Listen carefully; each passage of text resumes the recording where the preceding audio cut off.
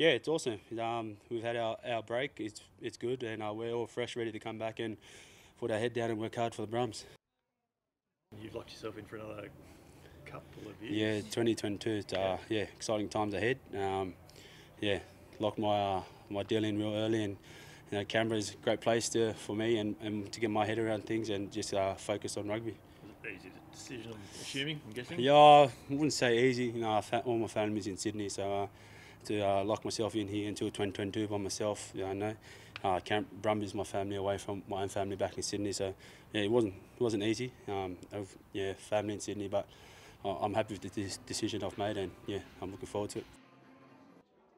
Every year, is just you know, you- you're hungrier and you know you're more motivated every year. Last year, we were unlucky to uh, fall short to uh, make that big stage, but the boys, you know, there's another another good vibe around the boys, and, and the boys are looking to go one further this year.